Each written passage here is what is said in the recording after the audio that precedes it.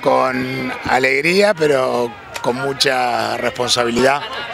Es un, es un orgullo poder servir a la ciudadanía desde, desde esta institución, aunque nosotros vamos a estar solo un ratito porque nos va a tocar asumir el rol de canciller.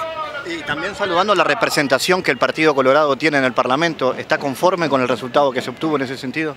Creo que podríamos haber obtenido un resultado algo mejor, pero estamos conformes porque somos el principal socio de esta coalición.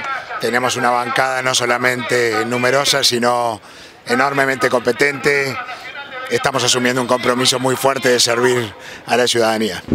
Esa decisión fue tomada y, creo que en los tiempos que vivimos Uruguay tiene que mandar una señal muy clara de que si pertenecemos a un sistema interamericano que tiene una carta democrática que nos obliga a promover y a defender la democracia como un derecho de los ciudadanos y a defender eh, la vigencia de los derechos humanos, bueno, tenemos que tomarnos eso bien en serio.